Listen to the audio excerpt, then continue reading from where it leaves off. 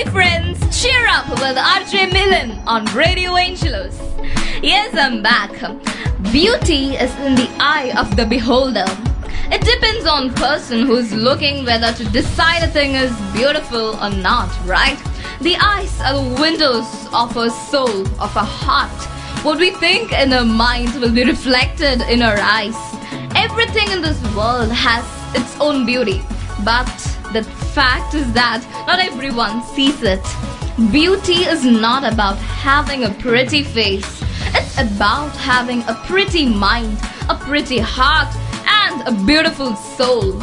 Beauty means to be the best possible version of yourself on the inside and also outside.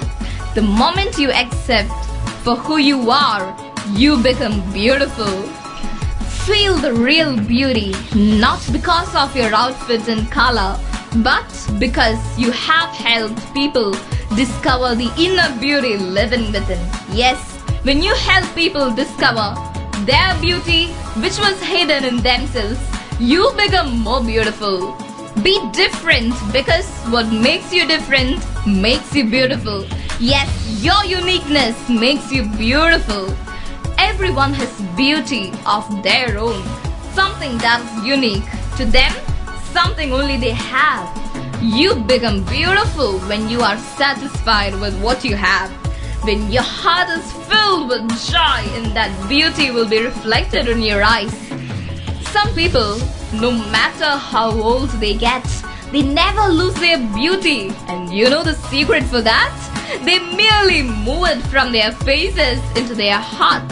Outer beauty pleases the eye, while inner beauty captivates the heart. Because be your own kind of beautiful. So the next time when you think of beautiful things, don't forget to count yourself in them. Because your beauty lies within you. It is inside you. Discover it.